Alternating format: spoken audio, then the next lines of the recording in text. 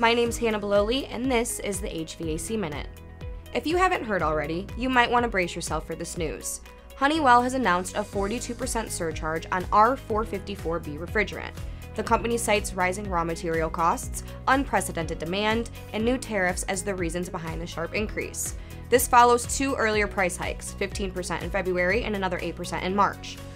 Supply issues are already squeezing the market, with long lead times and limited cylinder availability leaving contractors scrambling. Now, with summer right around the corner, the combination of higher prices and product shortages is creating serious challenges for the HVACR industry. Honeywell says it will source more R454B from international markets to bridge the gap, but that's a move that will place itself at the hands of additional tariff costs. As a result, Honeywell will apply a 42% surcharge on all R454B orders placed on or after February 15, 2025 to offset costs. In addition, Honeywell stated that it would increase the price of R454B by $4 per pound for all new orders beginning April 9, 2025, with the 42% surcharge applied to the new, higher price. Contractors across social media are voicing frustration, with some paying over $500 a cylinder if they can even find one.